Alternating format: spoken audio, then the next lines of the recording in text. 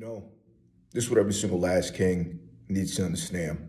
Currently, you feel me? I'm in the college campus, you know, I'm in the school library. It's early in the morning, you know, not a lot of people out. But I'm making this video to say that I've retaken the God pill. You know, I've returned to the God pill. You know, currently, um, I'm about to hit day three of semen retention after my relapse you know, and I'm never relapsing again. I just want to let you know, you know, this streak that I'm about to go on is going to be a pure retention streak. And my goal is to not bust unless I'm making a child, you know, but a lot of you guys are probably wondering what made me go back to the God pill? What made me retake the God pill? You know, some of you guys probably think, oh, he just fumbled a baddie, you know, and he probably thinks God is going to fix that. No, that's not the reason. You know, I don't care about that. And some of you guys are probably thinking, oh, I guess the shaming finally got to him. I guess the people constantly spamming him in the comment section about going back to God finally convinced him to go back to God. But that's not the reason either. You guys should know by now, I really don't care what, you know, other people think about me. You know, I'm honestly a very stubborn person. And if I want to change, I change. You know, nobody else is going to convince me to change myself. You know, I have to be the one to see something wrong and to make the change. And, you know, that's something about people, you know. That's where that saying, you can lead a horse to water, but you can't make a drink comes from. You know, that person has to be willing to change. No amount of convincing them will make them change. You know, I've been in the comments section, you know, people have been making comments about me going back to God for like a year now. You know, I just been getting spammed with comments about God. You know, take go back to the God pill for like a year now, and you know, I never did. You know, it was me who made the decision to go back.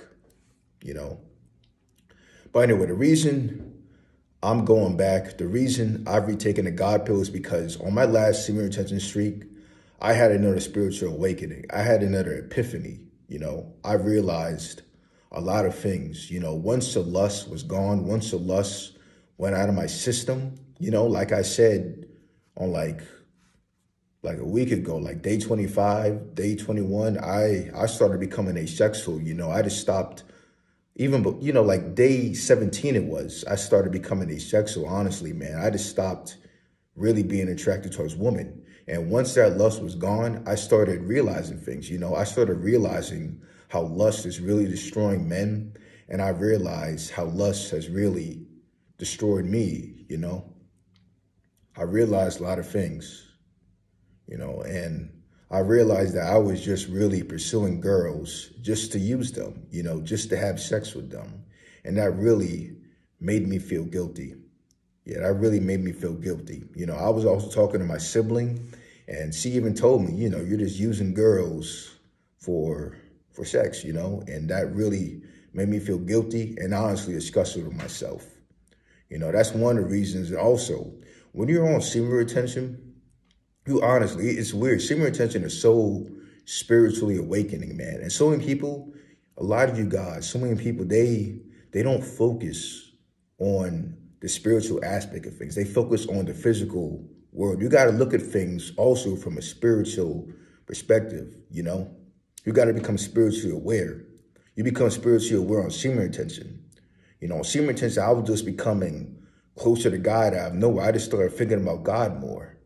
You know, it's weird what semen retention does to you, man. All this stuff on semen retention, it's all real, you know. Don't don't do don't do semen retention for female attraction. If you do semen retention for female attraction, you're ultimately, you know, you're gonna fail well, I don't know if you're going to fail, but you're not you're not going to awaken your true potential. You know, because you're still lusting. You got to get rid of lust completely. You know, but yeah, I've returned to the God pill. You feel me? I know a lot of you guys on this channel have commented that, oh, I'm constantly going back and forth. But I feel like this is, I'm pretty sure this is, this is the end. You know, the God pill is the final solution. I'm grateful that I that I, I, guess I went astray. I went off the path because I learned a lot from going off the path. God taught me a lot of lessons when I went off the path. He taught me a lot of stuff when I went off the path, you know. And one of the kings of my Discord, he he said something powerful to me. He said, haven't you noticed that ever since you stopped the God pill, your kingdom has start to become like destroyed. You know, bad stuff has started to happen. And I also realized that too. You feel me? But, you know, I returned to the God pill. You know, I'm not a Christian. I'm not a Muslim. I'm not an Israelite. I'm just a follower of God. That's that's all I want to do. I just want to follow God, you know, just follow him. You know, please him. You feel me? I'm not going to be all preachy. I'm not going to be shaming dudes.